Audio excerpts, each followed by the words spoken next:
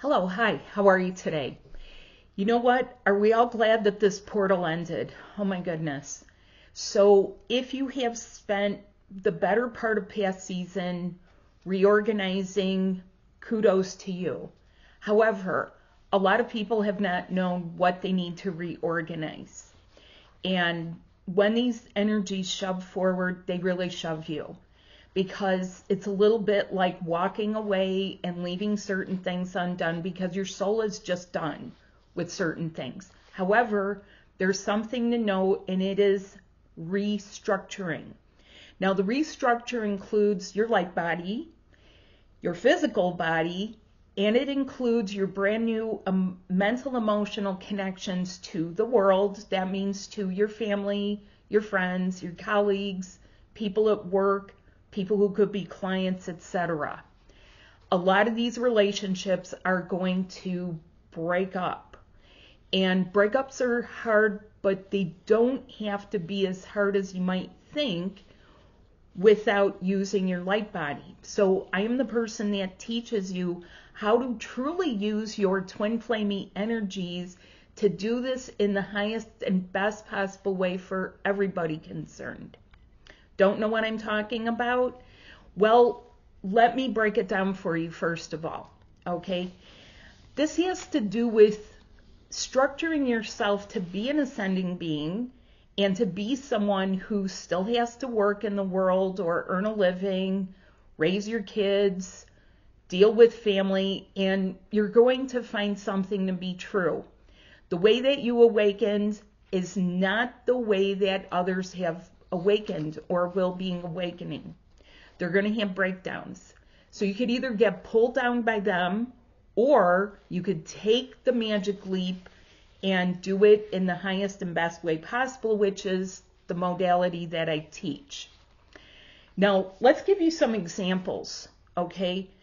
You could have people at work and suddenly someone gets sick and it throws everyone into a tizzy because now the routine is off the um, reliance upon like each person to do their tasks, it falls to other people. And a lot of workplaces are like this. Everybody's wearing a lot of hats. They're multitasking even if they don't want to. The squeezes on places are tightening their belts, and the irony is that people are looking for help, and yet, you know, there's a lot of like miscommunication out there. There's layers and layers, right? So, what does this lead to? It leads to tension, it leads to upset, it leads to strained relationships. And then you're supposed to go home and be kind to your family and not feel stressed or drive in traffic and not feel stressed or turn on the radio and hear all the bad news of the world and it's just on. Okay. It's on because those things, the old structure, it's been moved. It's like the rug has been pulled out from under a lot of things, a lot of places, a lot of people. In many ways, it's not the rug being pulled out, it's being their essence being drawn toward them. So when we talk about timelines are collapsing, in those timelines, you may have your essence and then you pull it back to yourself as it comes back, it can feel like a rush of energy. It can be pushy. It can be turbulent. It's going to wake you at night.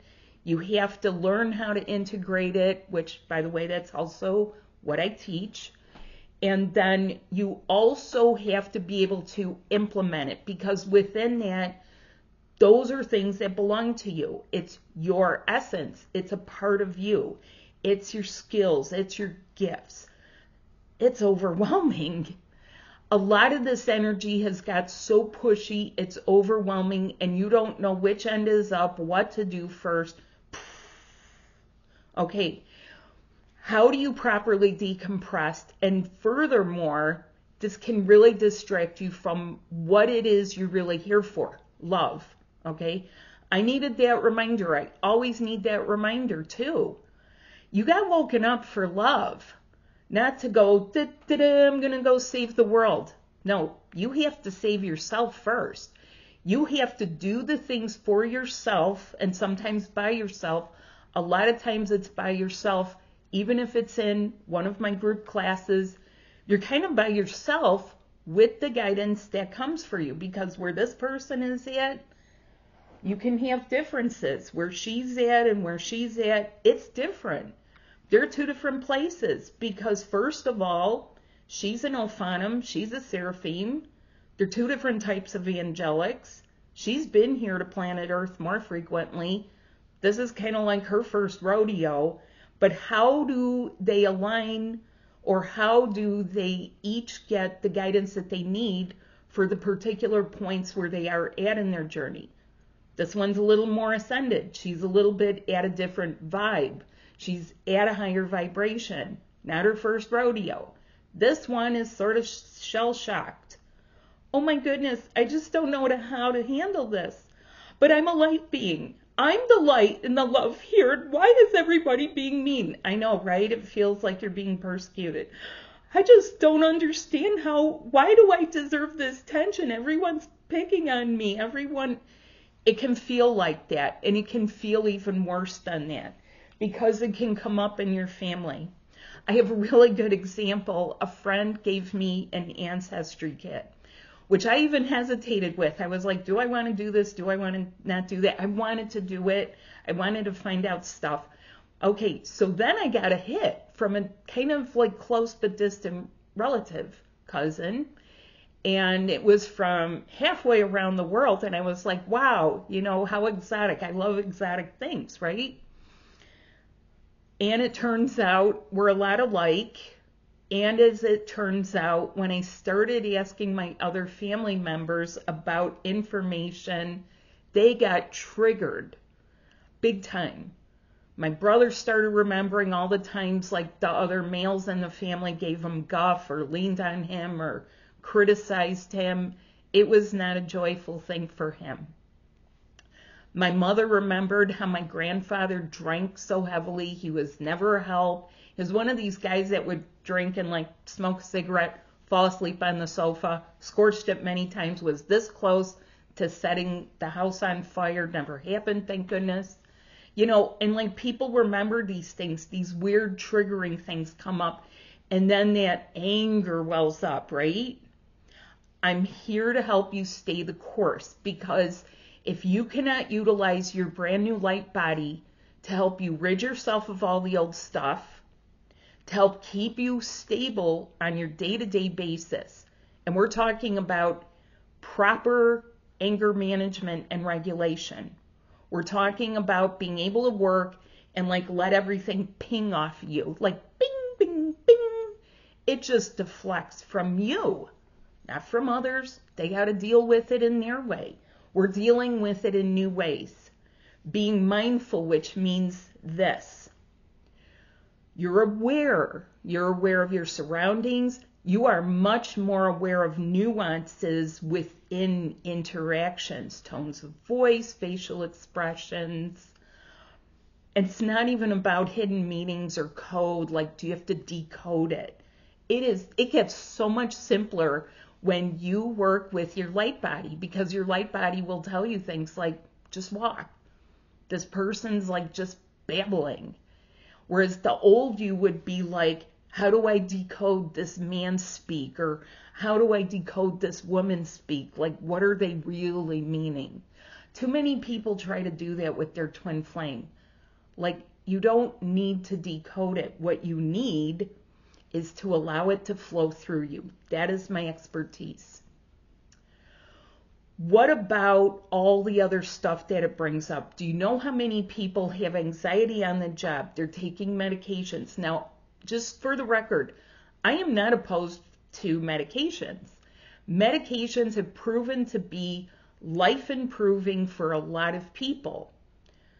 A lot of people would like to wean off of it, and that is the general nature of your angelic light body. Your twin flame body, it wants love.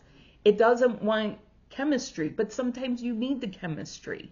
Wouldn't you like to do it where it feels natural and it's at the natural point? Right? So, anxiety, anxiety, depression, panic attacks, you know, like there's a whole thing where it starts making you feel like, am I evolving or am I devolving? It's on. What about family? Oh my God.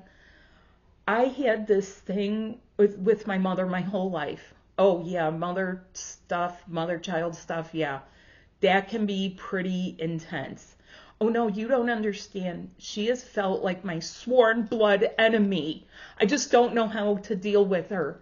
And now the holidays are coming. The holidays are coming. Yes. So, if you would like, please stay tuned and get my free little ebook here, Managing Anger for Working Parents. A lot of tips in here, but also please consider hearing more about my upcoming class, which is intended to help you with relationships, holiday stresses, work stresses, family stresses, stress management, anger management, mindfulness. We take that to another level, plus there's two of you.